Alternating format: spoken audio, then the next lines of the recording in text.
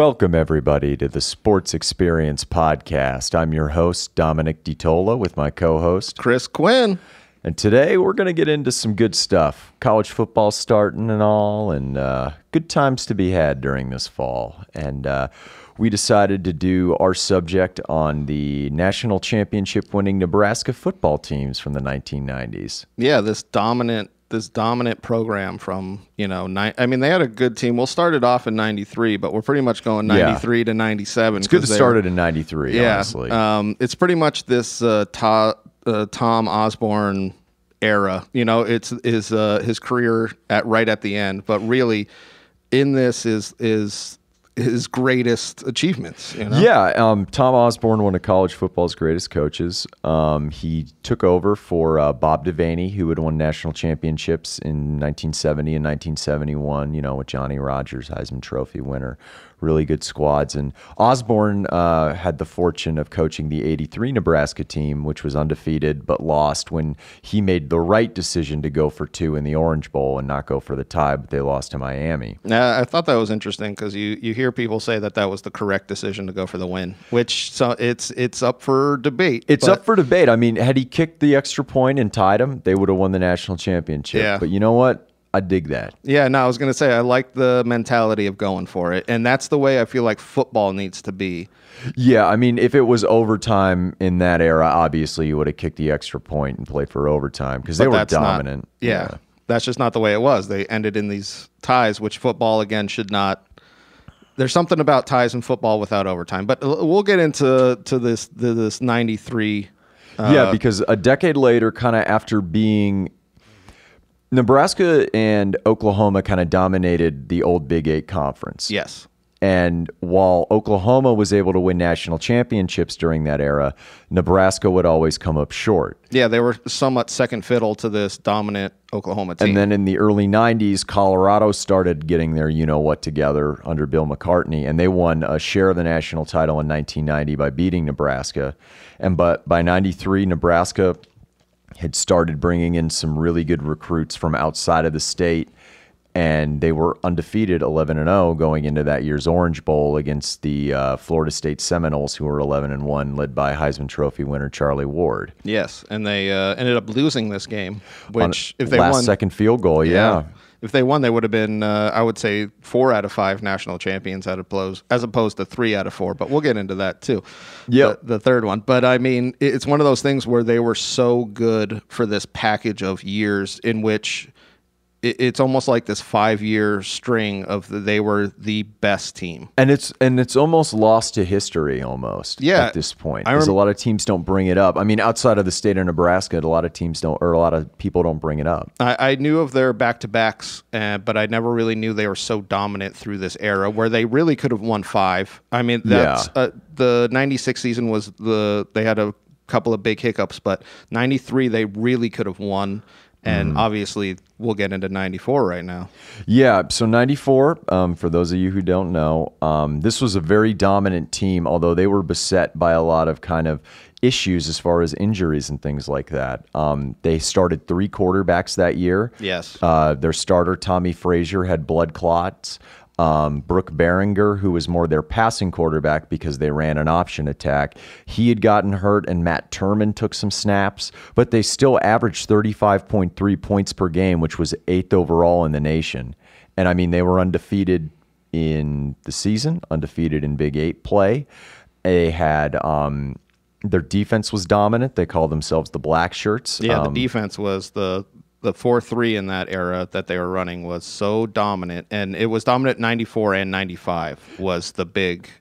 Yeah, though this the, they were slightly different teams, but they were so great against like they were really killing teams. They, they were blowing they were, them out. They gave up only in 94 12.5 points per game, which yeah. is third overall in the entire nation. I mean, dominant running attack led by Lawrence Phillips over 1700 yards. I mean, like I said, though, not much of a passing team.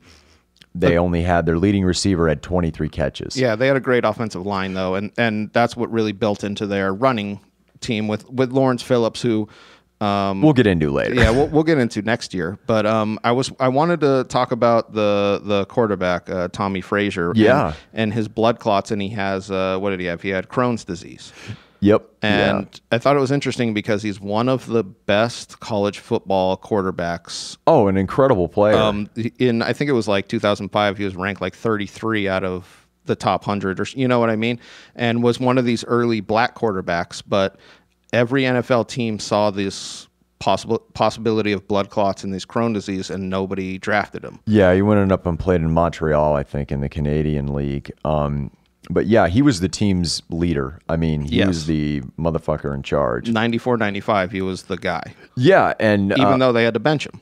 Yeah, they had to bench him because you know Berringer played well, and um, you know they rolled through their schedule. I mean, their closest uh, competition was really Colorado at that time because Oklahoma had been beset by uh, probation and suspensions and things like that. I was going to say they beat a really good uh, number two Colorado team on their way to this, and I thought it I, when I'm researching this, I thought it was interesting because you grew up in Denver, so it must have been Yeah, nobody liked Nebraska. Nobody liked Nebraska. yeah, those games must have been extremely epic because Colorado was such a powerhouse, and they were they were these pre national championship games that you saw that you were like, well, the winner of this is pretty much going to go on. Yeah, and l- much like Nebraska, Colorado was an option team. Kordell Stewart was their quarterback.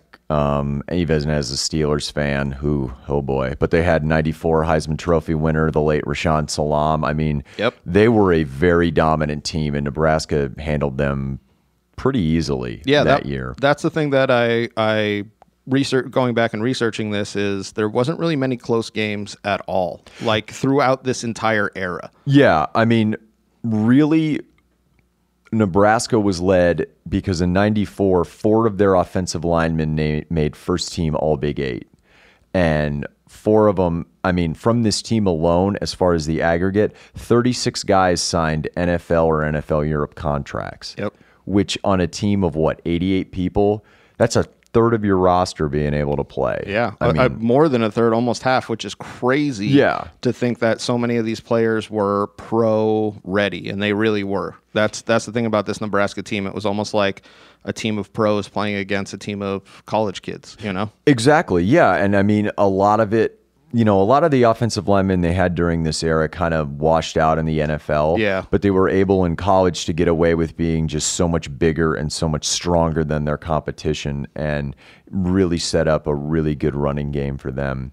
And like you said, there were a lot of blowouts, but during this era leading up to 94 everybody was talking about tom osborne in nebraska like a yeah but Yes. that was always what they referred to as yeah they're dominant but they're not breaking through against these florida schools in these bowl games where everything's on the line Yeah, they're not having the national championship seasons, the undefeated, the twelve and zero, the thirteen and zero seasons. Yeah, and what ended up happening, they win their first 12 games and they're matched up against the University of Miami in Another Florida Bowl. team. Another Florida team. That's what I feel like everybody playing for the national championship was playing one of these Florida teams. You know what I mean? If it was Colorado one year, they were like, "Well, we're playing Florida State." It was that's when the the Florida football was dominant. And I hate to say it, but I bet that's when the steroids in there were well, I mean, rampant.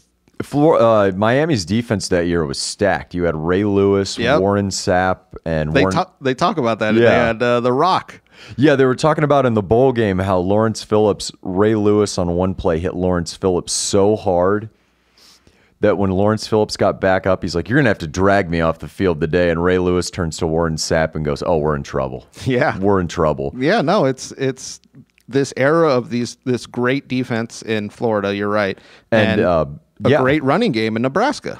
and you know strength against strength. Uh, Miami had a very interesting backup defensive lineman. Sapp replaced. Uh, his name was Dwayne Johnson. Yeah, Dwayne the Rock. Whatever happened to that guy? Uh, I think he's running for president. I'd vote for him. there you go.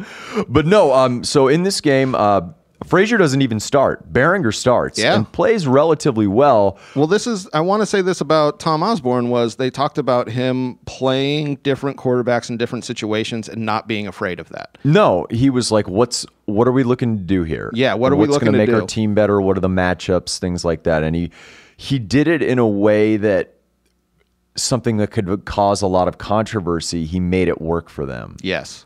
And that he made it work so well that it was why would you question it? exactly. That's why it was so great because everybody would question that double option, the the not starting your starting quarterback throughout kind of thing. But the way he did it and the way their offense was set up, this is why I found the the highlights to be so interesting was the way that their offense was set up was so designed to beat Miami.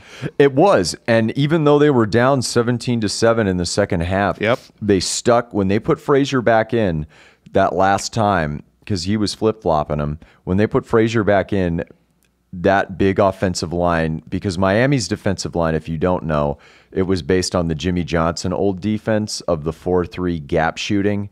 So Quickness. your your defense, yeah, your essentially your defensive line is former high school tight ends and linebackers. Yeah.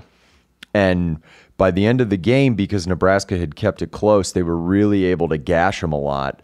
And by the end of the game, it was 24 to 7 or 24 to 17 and Nebraska had won their first national championship in 23 years. Well, I thought it was interesting that the defense held them to no points. Oh, I mean they, It- they it had was- a they had a dominant defense. Yeah, I mean the that's because a lot of people give it to this offense finally coming through, but man, the defense holding them to no points second half pretty much was what made them national champions that year. Like Ed Stewart, defensive lineman, Big Eight Defensive Player of the Year. Donta Jones played for the Steelers in the NFL, was an out, uh, outside linebacker. Any And player that gets drafted by the Steelers or plays from Dom's going to bring up. I will, because because I know. Yeah. Uh, Darren Williams was a great cornerback for the Packers for a long time. Yeah. He was probably the best player on that defense, and uh, yeah, Ty- or Tyrone Williams, excuse me. Uh, Baron Miles was the safety on that team. Oh, okay, But yeah. yeah, Tyrone Williams is a really good player for Green Bay, and they really kept that pass happy Miami offense in check, and they broke through. Finally, they had broken through. And the thing about that 94 team was a lot of that team was coming back the, f- the next season in 95. I was going to say because this is something that I find so interesting about the commitment that these guys have to these teams is they literally say, "Hey, I'm going to play this next year for free and possibly injure myself and not go on to play pro." And it's one of those things where you see it the backlash in in uh, basketball, but you really didn't see the backlash in football where guys would stay 4 years and their commitment to the to these programs were I mean, you see the fruit that gets harvested from this. You know what I mean? Oh like- no, I mean, and Nebraska's a good example of this because Yes. they've always been a pro walk-on program and they've always been a pro strength and development program to where guys will sometimes stay 5 years because they'll redshirt their first year and put on the necessary weight so that they can compete as redshirt freshmen. Mm-hmm. So if you have a guy staying 4 years leaving as a redshirt junior, it's still 4 years. I mean, and even that was rare. Well, that that's time. the thing is is they're they're ready for the NFL. That's why so many of them from this team got drafted like right out. It, it's it's really impressive the the way that their program was built. Yeah, and it was built at that time what Osborne started to do, and we'll go into this later in the off field stuff. They really started recruiting Florida heavily. Like Williams was a Florida guy, Frazier was a Florida guy.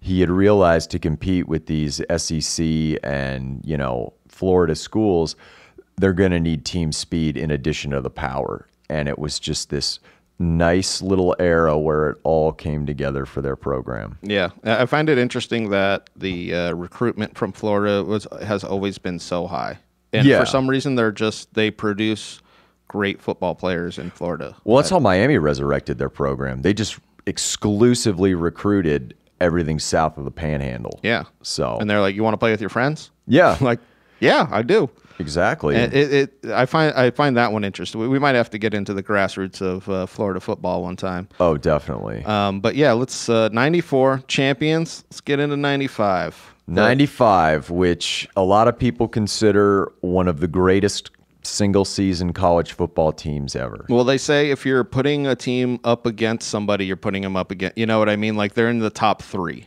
kind of thing, is what everybody uh, says about this team. And if you look at the way they were handling like I thought they were crushing teams in 94. Yeah. They are crushing them in 95. I got some interesting stats here. Yeah, I know you do. You're a stat man. Yeah, well, they lead the nation in scoring, which okay, I get it.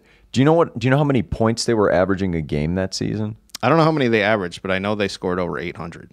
Fifty-three point two points per game.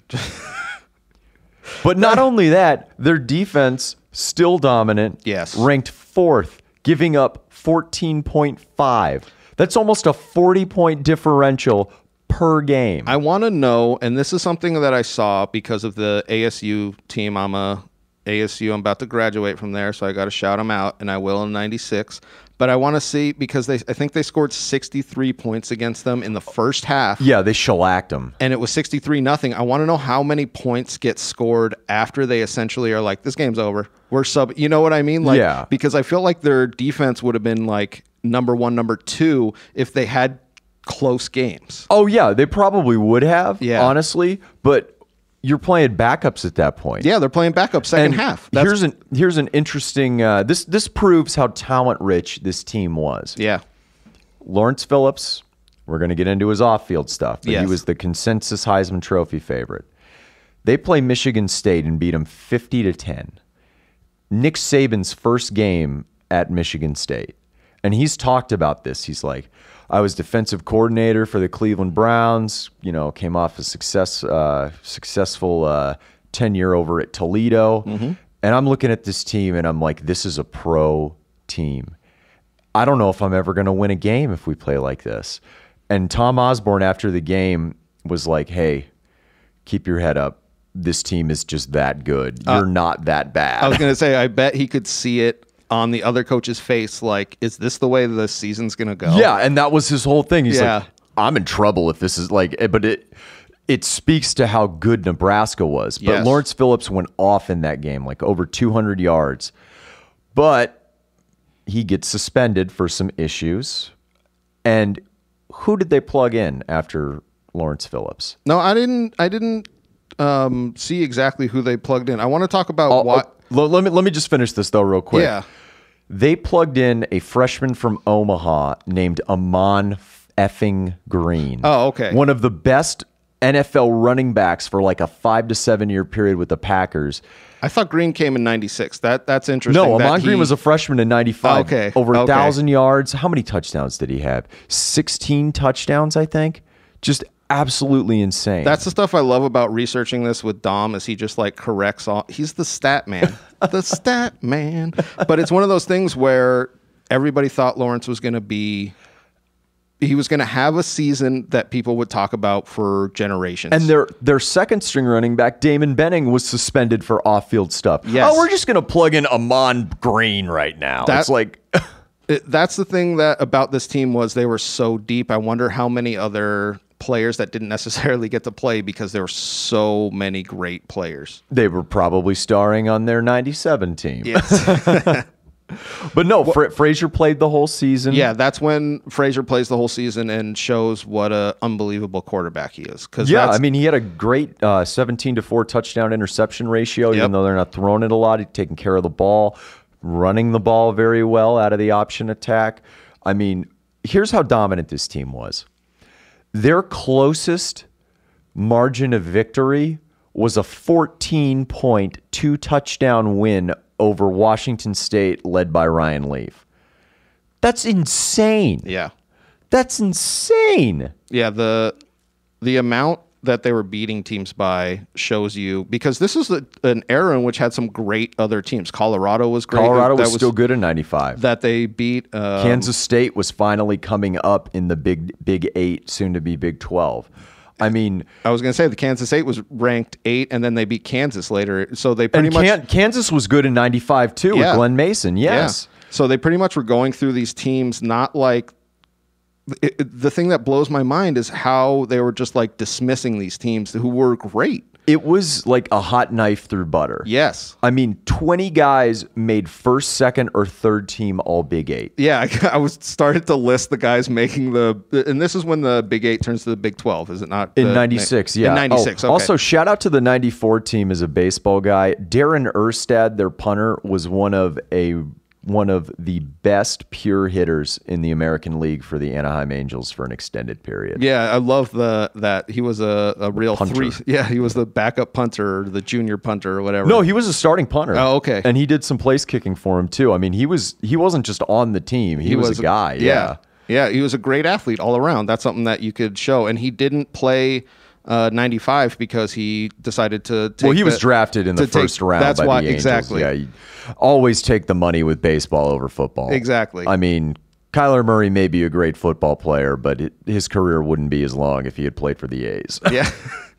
well, it's it's you know you, it's interesting to think that this team was just so stacked with athletic talent. You know, top to bottom. Oh yeah, and this is how embarrassing it was.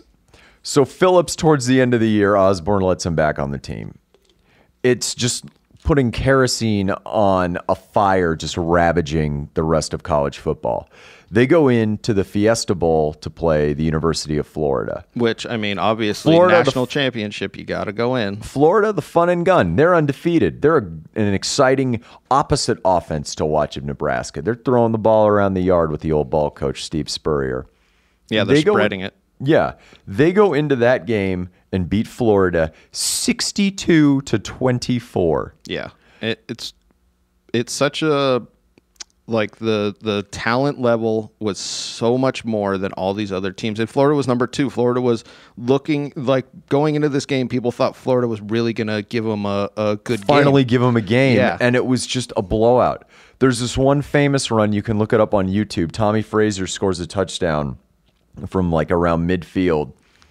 And you can see the not want to in those Florida defenders' eyes. They have him dead to rights, and he just breaks through the grasp of a bunch of dudes in this pile and emerges and scores. It's amazing. Well, it's one of those things where they knew that they were going to win. You know what I mean? They Yeah. had that on the like before going in. They were like, "There's no way they're even going to challenge us." like they had that dick swinging confidence Yes. that like it was it was absolutely insane. Yes, And uh yeah, two two in a row. two in a row and two so unbelievably dominant. So I think they went 25 and 0 and they're they're the way that they are beating teams because they we've had teams do this before where they had two really good seasons where it's like a bunch of juniors and a bunch of seniors. Yeah. But these two teams and especially in 95 were probably the greatest college football teams They're definitely in that discussion. in that discussion top 3, you know, Oh, maybe yeah. top, you know.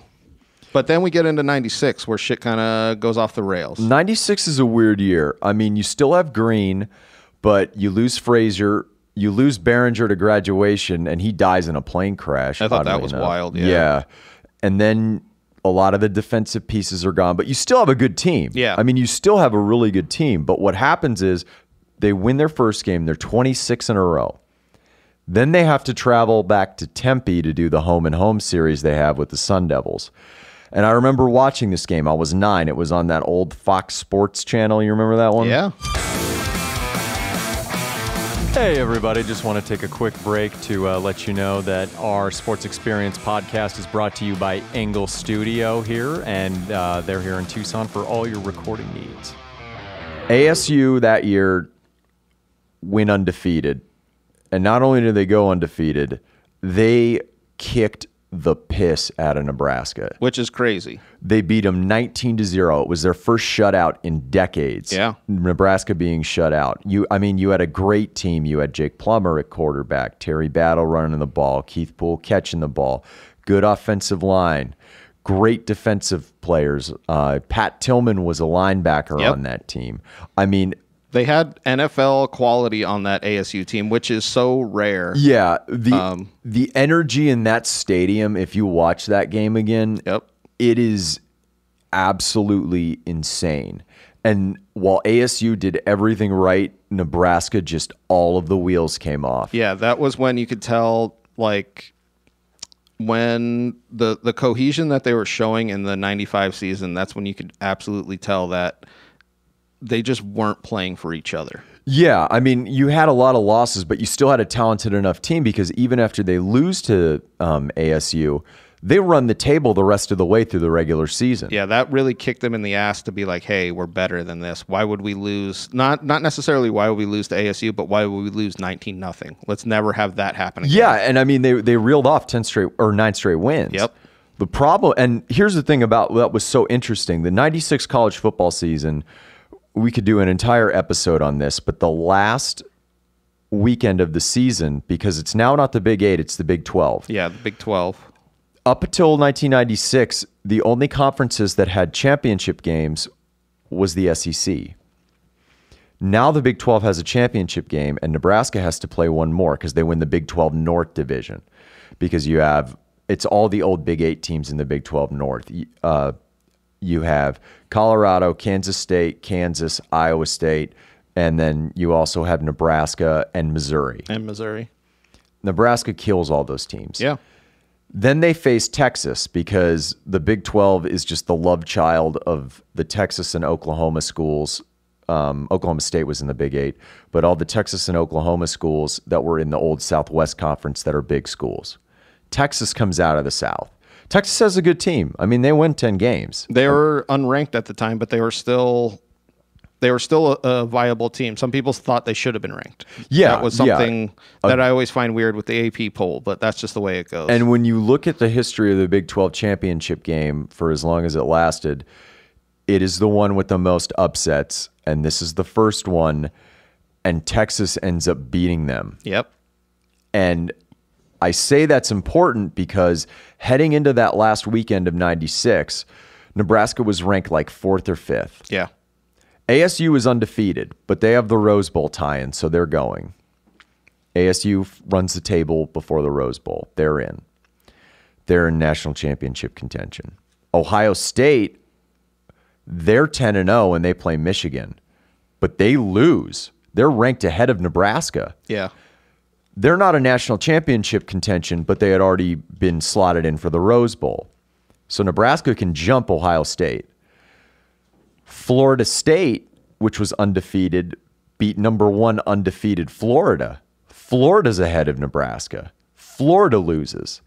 If Nebraska beats Texas, they're playing for another national championship. I was going to say we have just a ton of 11 and 1, 10 and 1 teams and if they beat Texas, that literally puts them in line to play whoever for I mean I, I don't even know who they would go up against. They would have gone Florida against State. Florida State because yeah. they would have been undefeated. Yeah. But what happens because Florida is ranked 1 and Nebraska loses that game? Yep. Florida jumps back up and they get a right the right to play for a national title against Florida State again in a rematch.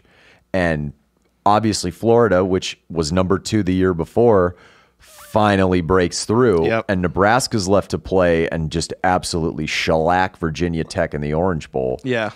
Left wondering what if.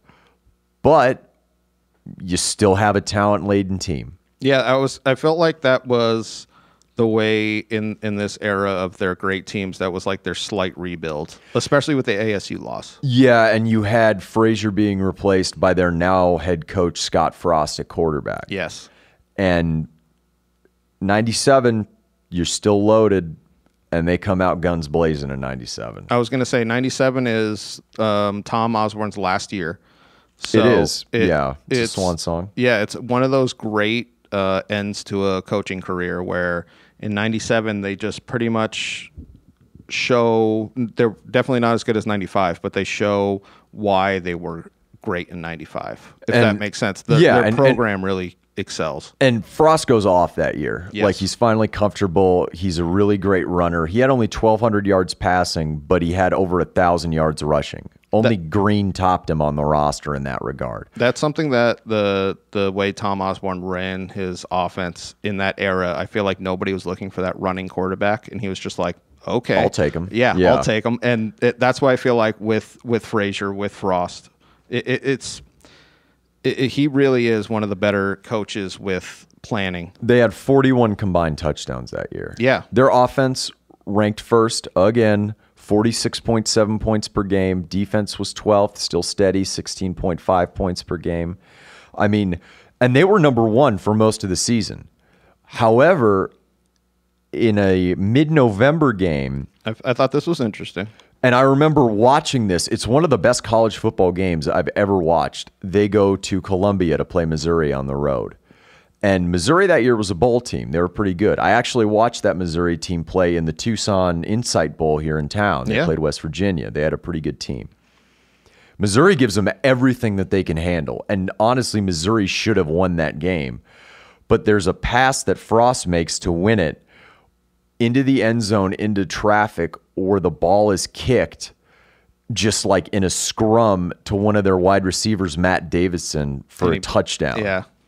But because that game was so close, Nebraska in the AP poll is jumped by undefeated Michigan. Because Michigan is blowing teams out. So and they Michigan is also undefeated. So- and they don't Heisman have- Trophy winner yeah. Charles Woodson. they don't have this uh, close game kind of thing. They're they're Yeah. really they're shellacking teams, so it's it's obvious that jump kind of happens. And Nebraska, though, still maintains number one in the coaches poll because this is the last year without the BCS. Yes, And because and we can see why. and yes, because of the way the bowl games work, Michigan has the automatic tie-in as Big Ten champion to the Rose Bowl.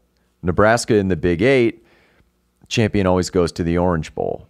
If or the highest ranked team goes to the Orange Bowl. So they they are essentially going to play two different bowls when they should be meeting up and playing each other.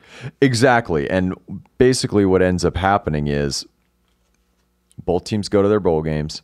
Michigan kind of ekes it out, but they But they win. win a steady game against Ryan Leaf and Washington State. Yeah. And Nebraska goes down to Miami to play Tennessee. Tennessee's one loss because Peyton Manning could never beat Florida. That was his knock. Florida was his Tom Brady for Yep. the longest time. Tennessee, if they win that game, probably catches a share of the national championship. And they go down there, and Ahman Green goes wild. And they win that game. And they win that game. And they win the coaches' national championship. Well, this is what I found um, interesting about college football and also frustrating about it from this era was you really didn't have a definitive champion. You didn't have so Michigan won the AP poll. They were number one with the rating or Yeah. whatever you want to say.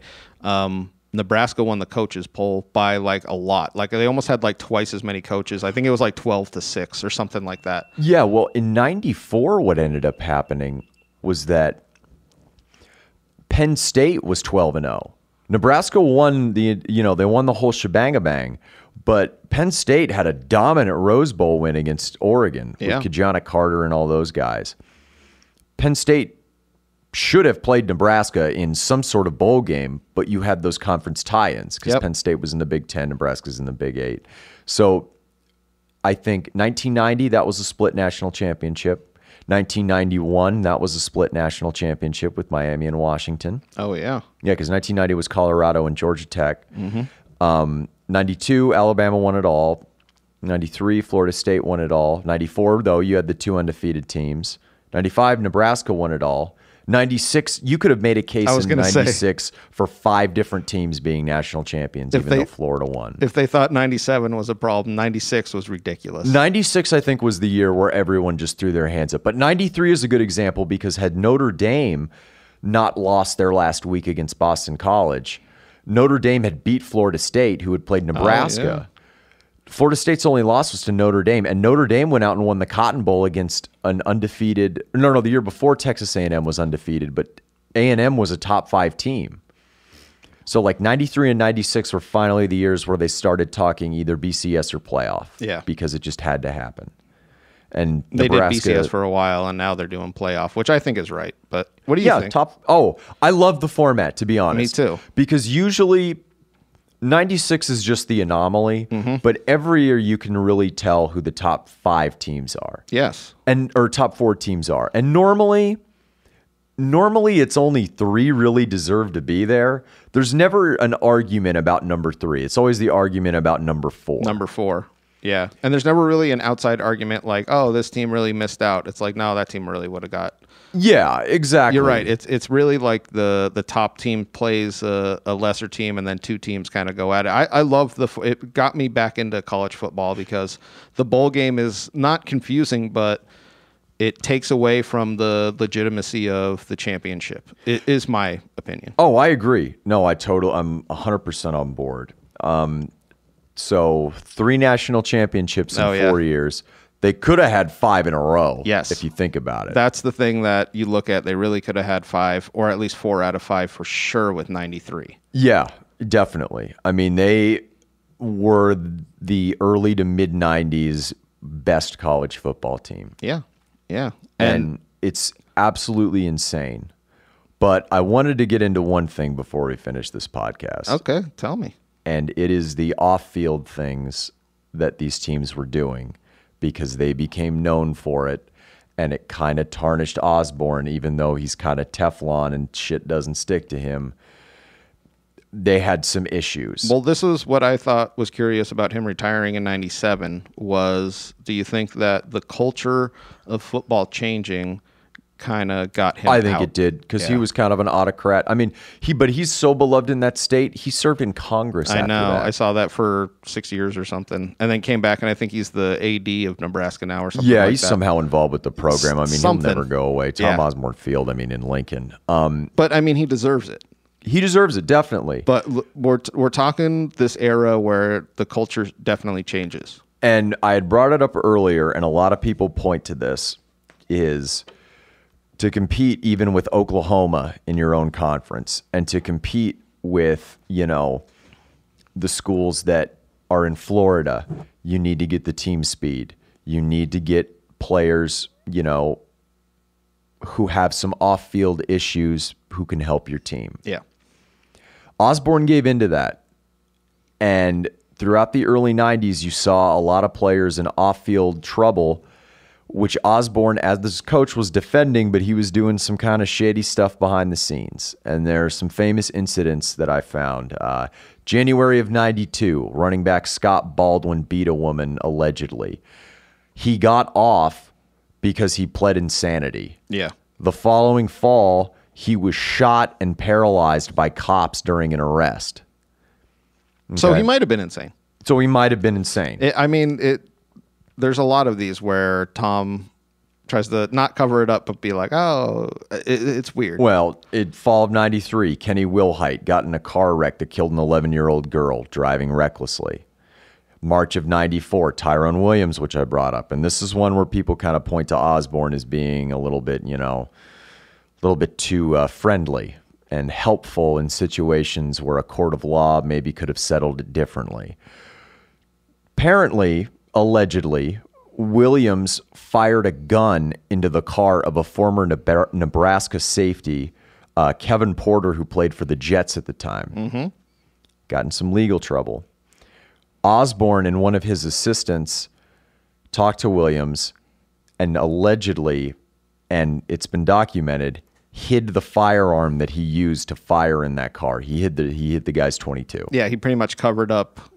Yeah. I mean, he was under the the guys, and this is definitely football. Of boys will be boys, It was. and it was one of those things where he was like, "I don't want this player to get suspended over some bullshit like this." But it was like a feeding into this culture of like these guys. Can they do can what- do anything. yeah, whatever they want. And his defense for that, which I find kind of weak, is well, if we kick them off the team and they have no structure, they'll be doing worse things. And it's like, but look what the hell they're doing. I was going to say the lack of structure is what's really causing these. They're you need, almost you need to lashing get out. your structure in order to get these guys under control. Yep.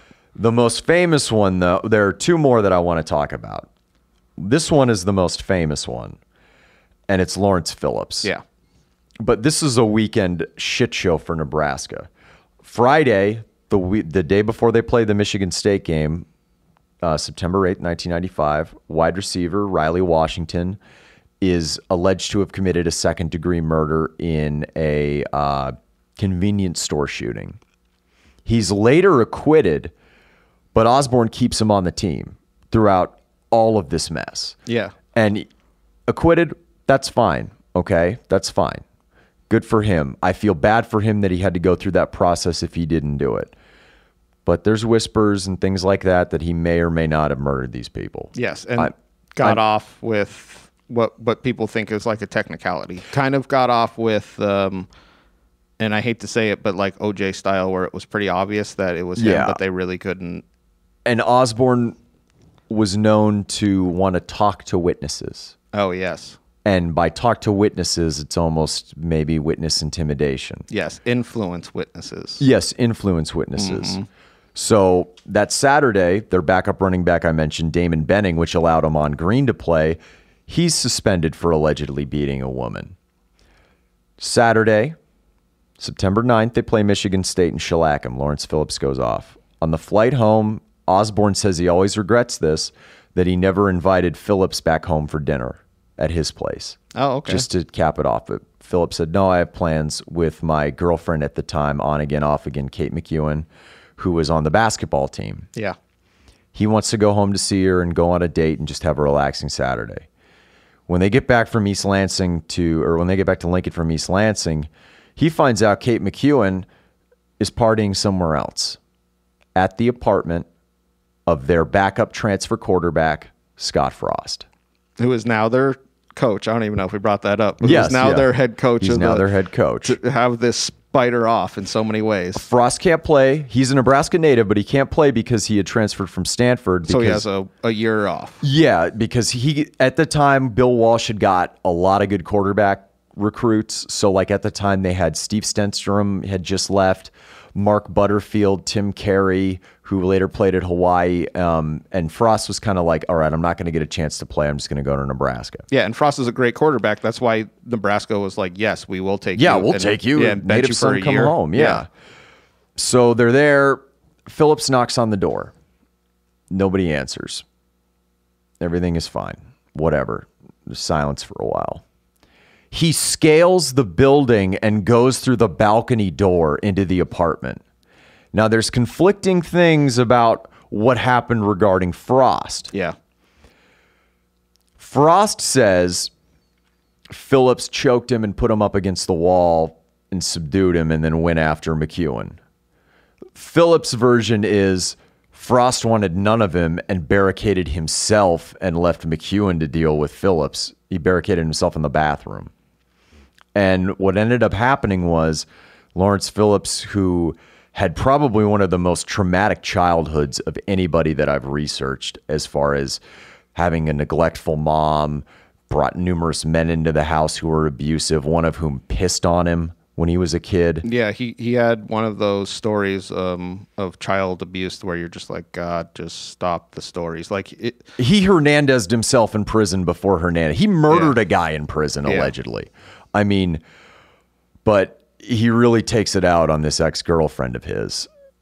Beats her to a pulp, drags her by her hair down three flights of stairs in her apartment, and shoves her head into a ma- bashes her face into a mailbox. yeah, he like lobby. really it disgustingly beats her to like to an extent where you're just like, this guy needs serious, serious help. And his jail sentence wasn't very long. Not Osborne keeps him on the team. Yeah. And he was the top talent going into that 96 draft. Oh, yes. Funny story about this, and I'll always remember this from my childhood.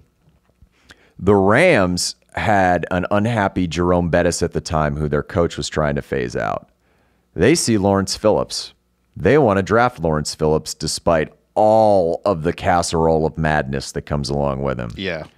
And for second and fifth round picks, they trade Jerome Bettis in one of the dumbest trades ever to the Pittsburgh Steelers for Lawrence Phillips. for Lawrence essentially. Phillip. Yeah, it, it's that one's interesting. The the way that stuff goes. I mean, obviously, we all know what um, Bettis does, in you know, but Perfect running back for that city. yes, exactly, uh, workhorse. But it's one of those things where like we we see the end of the boys will be boys era because the beating the shit out of the women is the thing that football constantly were turning their backs on and being like not even like uh suspending these guys No. you know what i mean like and that's the thing that really comes to light with a lot of these players is they really were pieces of shit in this era you know Well, and I have one more because I have to Oh, get to it, and it because it's just as messed up as Phillips.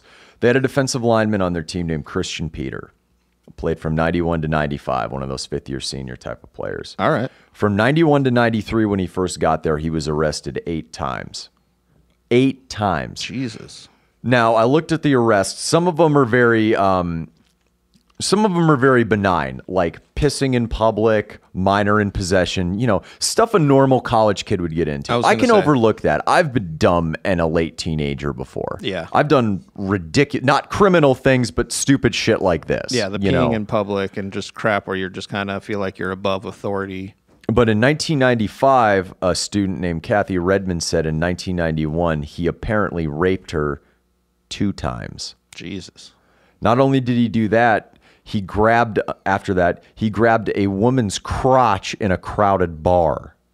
He allegedly abused, sexually assaulted a former Miss Nebraska while he was there. Jeez. And this is one of those instances where Osborne wanted to come in and have everybody hash stuff out internally, not, Not- in a court of law, Which is bullshit. But which that is was total garbage. it- it's just the way it's the the boy and I keep bringing it up because it's that mentality of let's And keep this in house and sweep it under the rug. and he was the heartbeat of that defense, and that's why he gets to stay. That's what I mean. They And he was very do, talented. they And- wouldn't do it for a second stringer. And in the 96 draft, what happens? Everybody starts passing on the guy Oh yeah. until the fifth round. When a certain team, led by a certain owner who likes to frequent uh, under the radar massage establishments named Robert Kraft and the Patriots, decide to roll the dice. And he took so much flack, him and the organization, for drafting him from not only the fan base, but his w- own wife, mm-hmm. that they cut him before training camp even started. Well, if anybody's going to roll the dice on somebody mentally unstable, it's the Pats. Oh, absolutely. it's the Pats, baby. Mm-hmm. But he ended up playing five years in the league for the Giants. And it's insane to think that this boys will be boys attitude that you had mentioned was fostered. oh, And everyone seems to look at those teams now. At the time, they would always look at all the off field stuff, but now that's kind of been lost to history. But finally, we're living in an era, which I think is a good thing, where stuff like that isn't acceptable or swept under the rug anymore. Yeah. Like, obviously, some of these were alleged type of things, but some of these things actually happened. yeah. It's one of those things where you have so many instances that it, they can't be fabricated, and that's and not fabricated anymore because you have social media and Oh, things yeah. like that. Like I can't even imagine what it was like back in the day. Yeah, and that's the thing is with a couple of these guys and a couple of these instances that we probably will never hear about. Yeah. That's the thing. These are the things that we're hearing about. I wonder about what Tom Osborne kind of swept under the rug. Nothing um, against him as a football coach, but I feel like his judgment in a lot of these uh, um, instances were just extremely poor. And, you know what? If these guys react negatively to being um, punished Yeah. or having consequences for their actions, that's on them. You at least did the right thing. He walked out of a press conference after the Lawrence Phillips thing, and a media member asked him, if this was your wife or your daughter, do you think you'd be reacting this way? Yeah. And he just got up and left. He didn't even answer the guy. He Well- said, I don't have to answer this question. that's the the take that's the take the thing that is not in his favor is that he puts football above everything else he And he puts did. yeah And I'll say it, I'll say this. By putting football above everything, you win three national championships. yes that's i mean i hate to say it but yeah because There's extra. there's extra there's always extra i wonder what the royd situation was because 90s college football was pretty rampant but- well, when you look at the size of some of these Nebraska linemen and how they, a lot of them washed out in the pros. Yep. I think some of that may have factored in in addition to their rigorous weight training program. it's one of those things where everybody was using it, so I don't think it was necessarily an unfair advantage. No. but man, they were so ridiculously jacked. So jacked, and the teams were so good. Yeah, they really were. That's something that you can't really take away from. The teams were great, and some of them were pieces of shit. Yeah. Much like any team. yeah, yeah. To be honest, I mean, you have a, a an entire group of people. They're not going to all be, you know, any any group that you get. And I'll say this this isn't limited to Nebraska. Colorado was built in almost the exact same way to be good during this era. and a lot of teams were. Miami, Florida, Yes. Florida State. I mean, Overlook the negative that some players may have because they are so great on the field. exactly. That is, I feel like that is the era of that. It is. know? It's the last of the era Yeah. too. It's the Get- last. we of it. get that death rattle because now social media just kills that. And which um that's something I don't really like social media all that much, but I love the accountability that people have now with it. Yes, exactly. I mean, it can go overboard at times, but Yes, it can. you know, maybe you help people by canceling them, like a Lawrence Phillips. Yes, not for what I mean. they say, but what they actually do. Yes. Yeah. Uh, you know how I feel about canceling comics. I hate that shit. Same but here. For somebody's actual actions, they deserve to be canceled. Right. And I, and I will back that a million times. Mm-hmm. And that's the Sports Experience Podcast. I'm Chris Quinn. I'm Dom DiTolla, brought to you here over at Engle Studio in Tucson for all your recording needs. Thank you all very much. Hey, everybody. Thanks for listening to that podcast. This is just a stock message at the end of all of our podcasts. So we hope you enjoy. You listen to whatever athlete that was. Give us a follow at the Sports Experience Podcast on Instagram. Also, myself at Sequin Comedy on Instagram. Also, DiTolla Dominic on Instagram. Just follow us all around. If you have any suggestions for any athletes you want us to do, shoot us an email at the Sports Experience Podcast at gmail.com. And we always are recording right here at Engle Studio. Thank you all very much.